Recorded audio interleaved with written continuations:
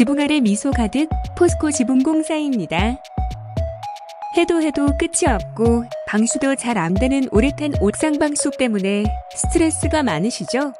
칼라강판 방수공법이 나오면서부터 딱 한 번만 하는 옥상 방수가 가능하게 되었습니다. 그래서 요즘엔 칼라강판으로 방수공사를 하려는 슬라브 주택과 빌라에서 문의가 쏟아지고 있습니다. 아연으로 특수 galvanize 코팅이 되어 있는 칼라강판의 수명은 3년에서 5년에 한 번씩 칠해야 하는 우레탄 페인트에 비해 10배 이상이기 때문에 평생에 한 번 시공한다고 보시면 됩니다. 하지만 컬러 강판 지붕 공사라고 해서 다 같은 게 아니죠.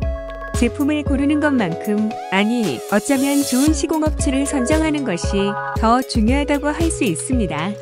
똑같이 좋은 제품을 가지고도 시공업체에 따라 완전히 다른 결과물이 나오기 때문입니다.